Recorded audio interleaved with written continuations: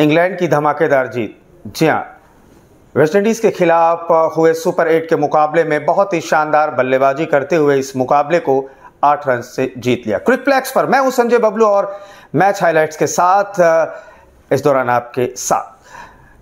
बात करेंगे इस मैच का टॉस। तो इस मैच का टॉस जीता था वहाँ पर इंग्लैंड के कैप्टन ने और पहले उन्होंने बॉलिंग करने का फैसला लिया।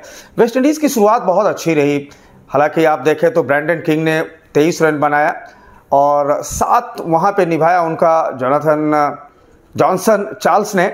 वो अड़तीस रन बनाए लेकिन पारी का वो जो आ, मैं समझता हूँ कि पावर प्ले का जो दौर था उस समय ब्रैंडन किंग थोड़ा सा इंजर्ड हुए उसके बाद बहुत ज़्यादा फिट नहीं थे रिटायर्ड हड होकर वापस गए।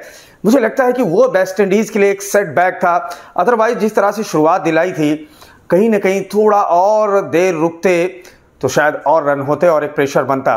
बहरहाल, इस मुकाबले में अगर आगे बढ़े, अगर आगे बढ़े तो निकोलस ने अच्छी पारी खेली, छोटी पारी लेकिन थोड़ी सी धीमी पारी।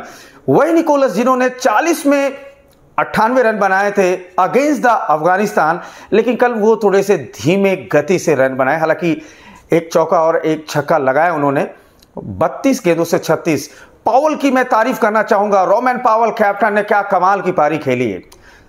सत्रह गेंदों से 36 रन बनाए, पाँच छक्के लगाए।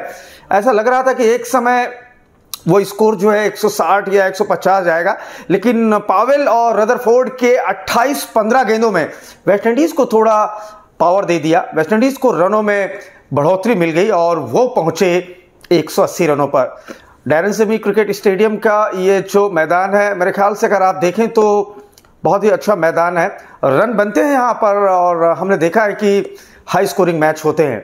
तो 180 में देखिए बॉलिंग अगर हम इंग्लैंड की बात करें तो आदिल एक बार फिर कमाल की बॉलिंग की। आदिल रशीद ने चार ओवर में 21 रन देकर एक विकेट लिया।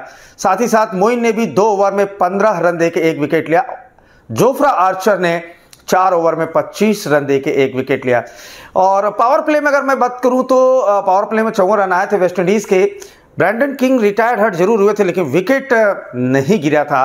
और इस तरीके से जवाब में इंग्लैंड एक सौ इक्यासी का पीछा करते हुए 17 ओवर और तीन गेंदों से इस मुकाबले को जीत लिया है। जी हाँ फिलिप साल्ट ने क्या कमाल की पारी खेली। सत्तासी रन बनाए और महज उन्होंने जो गेंदे खेली वो सैतालीस, सात चौके, पाँच छक्के उनकी बैटिंग में शामिल थे। और बटलर ने भी वो कप्तान का थोड़ा दबाव झलक रहा है, लेकिन कल उन्होंने जो 25 आज जो, माफ़ कीजिएगा, जो आज 25 रन बनाए वो बहुत ही बेहतर रहे हैं। 22 गेंदों में 25 रन थोड़ी धीमी ज़रूर रही, लेकिन स्टेबल थी और टीम के लिए वो ज़रूरी थी। जॉनी वेरेस्टो जैसा कि मैंने कल बताया था आपको, ये ऐसे बल्लेबाज हैं, इनका कब टॉप गियर लग जाए, पता ही नहीं चल पता ही नहीं चलता। आपको याद होगा एक मैच दो का लक्ष्य का पीछा करने उतरी पंजाब की टीम और जॉनी वेस्टो ने उस मुकाबले में शतक बना दिया। टी ट्वेंटी के इतिहास में वो सबसे बड़ी जीत थी। हालाँकि आईपीएल का वो मैच आज भी लोगों के जहन में है। तो वेस्टो ऐसे बल्लेबाज हैं, वो जब खेलते हैं तो कुछ ना कुछ उलटफेर होता है। ये इनकी जो इनिंग थी, वो इंग्लैंड की जीत में बहुत ही सकारात्मक पारी थी। 26 गेंदों में 48 रन बनाए, पाँच चौके और दो छक्के लगाए। गेंदबाजी में अगर आप देखें तो वेस्टइंडीज की तरफ़ से रॉस्टन चेस ने तीन ओवर में 19 रन देके एक विकेट और रसेल दो ओवर में 21 रन देके एक विकेट। हालाँकि अकील हुसैन की बात करें तो कल उनका फ्लॉप सो चला। चार ओवर में 35 रन दिया और कोई भी विकेट नहीं मिला। पावर प्ले में वेस्टइंडीज की तरफ़ से जहाँ चौवन थे, वहीं इंग्लैंड की तरफ़ से अट्ठावन रन बनाए गए। और इस तरीके से इंग्लैंड ने इस मुकाबले को आठ रन से जीतकर सेमीफाइनल की अपनी तस्वीर को थोड़ा पुख्ता कर दिया है। जी हाँ दोस्तों, मैं आपको बताना चाहूँगा, तीन मैच खेलने हैं और कहीं आपका एक मैच अप एंड डाउन हो जाए, वो भी पहले ही मैच तो वो थोड़ा सा प्रेशर बनेगा। मैन तो मैच रहे फिलिप शॉल्ट और कमाल की उन्होंने बैटिंग की और इस तरीके से इंग्लैंड का एक बार फिर ऐसा लग रहा है क्या डिफेंडिंग चैंपियन का खिताब बचा पाएँगी वो। वैसे कहा जाता है टी ट्वेंटी वर्ल्ड कप में एक बहुत ही बड़ा अभिशाप है।